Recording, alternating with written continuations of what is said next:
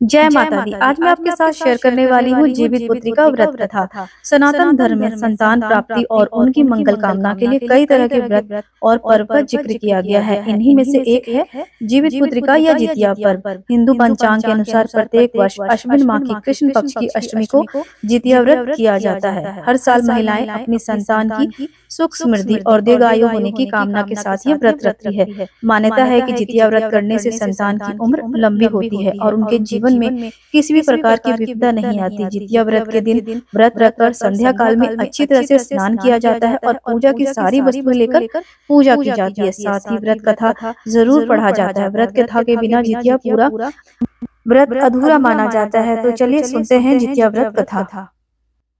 सबसे पहली कथा है चिल्लो सियारो की कथा। जीवित पुत्री का व्रत में चिल्लो सियारो की एक कथा भी सुनी जाती है। वह इस प्रकार है। एक वन में सेमर के पेड़ पर एक चील रहती थी। पास ही झाड़ी में एक सियारिन भी रहती थी। दोनों में खूब पड़ती थी। चिल्लो जो कुछ भी खाने को लेकर आती उन उसमें से सियारिन के लिए ज़रूर हिस्सा रखती। सियारिन भी चिल्लो का ऐसा ही ध्यान रखती थी। इसी तरह दोनों के जीवन आनंद से कट रहे थे एक बार वन के पास गाँव में औरतें जितिया व्रत की पूजा की तैयारी कर रही थी। चिल्लो ने बड़े ध्यान से देखा और अपनी सखी सियारिन को भी बतलाया। फिर चिल्लो और सियारो ने तय किया कि वह भी यह व्रत करेगी। सियारो और चिल्लो ने जितिया व्रत रखा बड़ी निष्ठा और लगन से दोनों दिन भर भूखे प्यासे मंगल कामना कर व्रत में रही मगर रात होते ही सियारिन को भूख प्यास सताने लगी। जब बर्दाश्त न हुआ तो जंगल में जाके उसने मांस और हड्डी पेट भर कर खाया। चिल्लो ने हड्डी चबाने की कड़कर की आवाज़ सुनी तो पूछा कि ये कैसी आवाज़ आ रही है सियारिन ने कह दिया बहन भूख के मारे पेट गुड़गुड़ा रहा है। यह उसी की आवाज़ है मगर चिल्लो को पता चल गया उसने सियारिन को खूब लताड़ा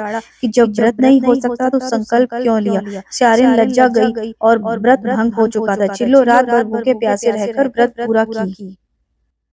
अगले जन्म में दोनों मनुष्य के रूप में राजकुमारी बनकर सगी बहनें हुई। सियारिन बड़ी बहन और उसकी शादी एक राजकुमार से हुई। चिल्लो छोटी बहन और उसकी शादी उसी राजकुमार के मंत्री के बेटे से हुई। बाद में दोनों राजा और मंत्री बने। सियारिन रानी के जो भी बच्चे होते वे मर जाते जबकि चिल्लो के बच्चे स्वस्थ और हटे कट्टे रहते इससे उसे जलन होती थी।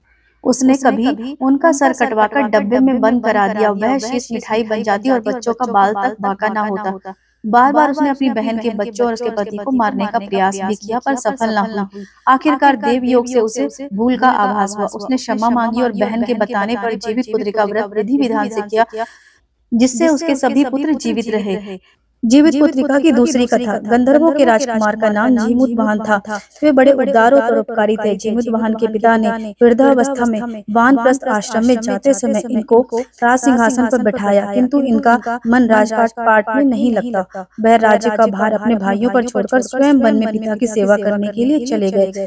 वन में ही जीमुत वाहन को मलयवती नामक राज्य कन्या से भेंट हुई और दोनों में प्रेम हो गया एक दिन जब वन में भ्रमण करते हुए जीमुत वाहन काफ़ी आगे चले गए तब तब उन्हें वृद्धा विलाप करते हुए दिखी पूछने पर वृद्धा ने रोते हुए बताया मैं नागवंशी की स्त्री हूँ मुझे एक ही पुत्र है पक्षीराज गरुड़ के कोप से मुक्ति दिलाने के लिए नागो ने यह व्यवस्था की है वे गरुड़ को प्रतिदिन भक्षण हेतु एक युवा नाग सौंपते हैं। आज मेरे पुत्र शंख चूड़ की बलि का दिन है आज मेरे पुत्र के जीवन भर का संकट है। और थोड़ी देर बाद मैं ही पुत्र विहीन हो जाऊँगी एक स्त्री के लिए इससे बड़ा दुख क्या होगा और उसके जीते ही उसका पुत्र ना रहे जीमुत वाहन का यह सुनकर बड़ा दुख हुआ। उन्होंने उस वृद्धा को आश्वस्त करते हुए कहा डरो मत। मैं तुम्हारे पुत्रों के प्राणों की रक्षा करूँगा। आज उनके स्थान पर स्वयं मैं अपने आप को लाल कपड़े में ढककर बदशिला पर लेटूँगा ताकि गरुड़ मुझे खा जाए पर तुम्हारा पुत्र बच जाएगा इतना कहकर जीमूत वाहन ने शंख छोड़ के हाथ से लाल कपड़ा ले लिया और वे उसे लपेट कर गरुड़ को बलि देने के लिए चुनी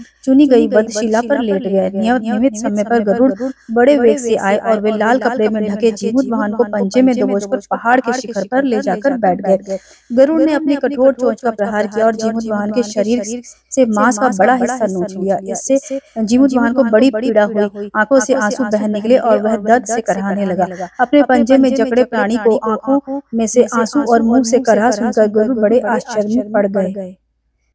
क्योंकि ऐसा पहले कभी ना हुआ। उन्होंने जीमुत वाहन से उसका परिचय पूछा जीमुत वाहन ने सारा किस्सा कह सुनाया कि कैसे एक स्त्री के पुत्र की रक्षा के लिए अपने प्राण देने आए हैं। आप मुझे खाकर भूख शांत करें। गरुड़ उनकी बहादुरी और दूसरे प्राण रक्षा के लिए स्वयं का बलिदान देने की हिम्मत से बहुत प्रभावित हुए। उन्हें स्वयं पर पछतावा होने लगा वह सोचने लगे कि यह एक मनुष्य है जो दूसरे के पुत्र की रक्षा के लिए स्वयं की बलि दे रहा है और एक मैं हूँ जो देव देवों के संरक्षण में हूँ किंतु दूसरों की संतानों की बलि को ले रहा हूँ उन्होंने जीवन को मुक्त कर दिया गरुड़ ने कहा हे। उत्तम मनुष्य मैं तुम्हारी भावना और त्याग से बड़ा प्रसन्न हुआ हूँ मेरे तुम्हारे शरीर पर जो घाव किए ये है उसे मैं ठीक कर देता हूँ। तुम अपनी प्रसन्नता के लिए मुझसे कोई वरदान मांगो राजा।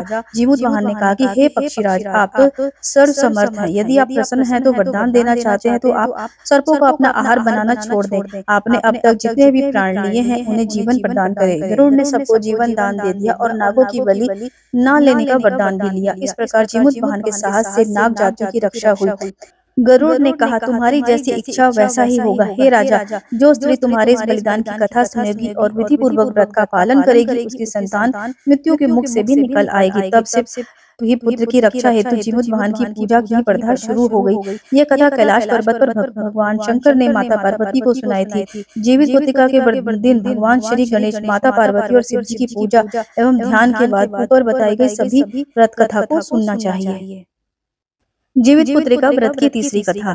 यह कथा महाभारत काल से जुड़ी हुई है। महाभारत युद्ध के बाद अपने पिता की मृत्यु के बाद अश्वत्थामा बहुत ही नाराज़ था और उसने अन, उसके अंदर बदले की आग तीव्र थी जिस कारण उसने पांडवों के शिविर में घुसकर सोते हुए पाँच लोगों को पांडव समझकर मार डाला। लेकिन वे सभी द्रौपदी के पाँच संतानें थी और इस अपराध के कारण उसे अर्जुन ने बंदी बना लिया और उसकी दिव्य मणि भी छीन ली।